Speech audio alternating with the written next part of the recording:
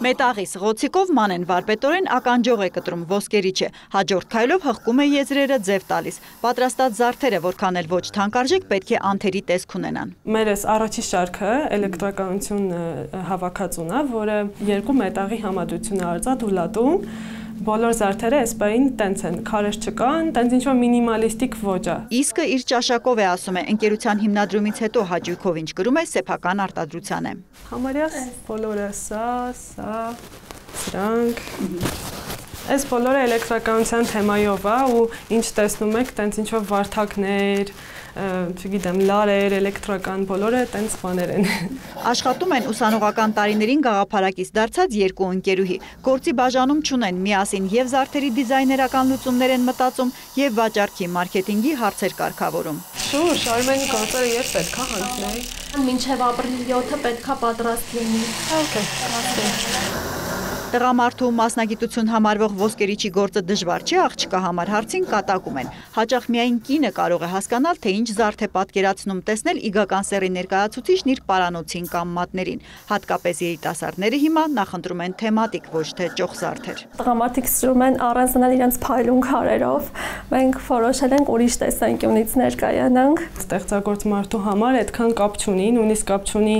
թե ինչ գործ ես անում, եթե իրոք հավանում ես, կվառես է, կկտրես է։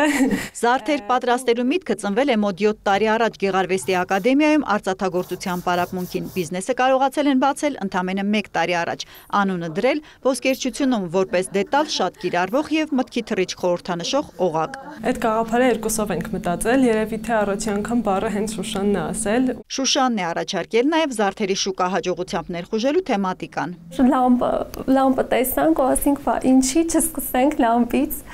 Ու տենց արգացավ թեման, հետո ռոզետկան եղավ ու տեղից սկսվեց մեր շարքը։ Ականջող վարդակներ են, այսպես ունենք լամպ մատանի, ունենք լամպ ականջողներ։ Սա մեր վտանգի նշանն է Օրվա զարդը բարձր լարումն ընտրել թե լուսատու լամպը համաձայն եք տեսքի հետ նաև տրամադրություն է հաղորդում նկատում են աղջիկները։ Ծիծաղում լսելով տոկի տված մեկնաբանությունները։ Գնորդներ ունեն միմյանց գտնում են հիմնականում սոցհարթակներում ու փոքրիկ ցուցահանդես վաճառքներում։ Որպես ձեռներեց իրենք առաջնորդվել են սկզբունքով, ըստ որի մարդկանց ճաշակն ու կենսակերպը վերջին տարիներին փոխվել է նաև զարդեր կրելու առումով։ Ոսկին ինքը մնայունա, չէ։ Դու կրում ես իրան տարիներով, իսկ հիմա ավելի տենդենս կա, որ դու հակնում ես 1-ից 2 տարի ու միշտ նորն ես ուզում փորձես։ Հաջորդ հավաքածուն, որ արդեն սկսում են էսքիզներ մշակել, շատ գաղտնիքներ չեն բացում, բայց քարերով է լինելու։ Հերմինե Բաղդասարյան, Դավիթ Մաչկալյան, լուրեր։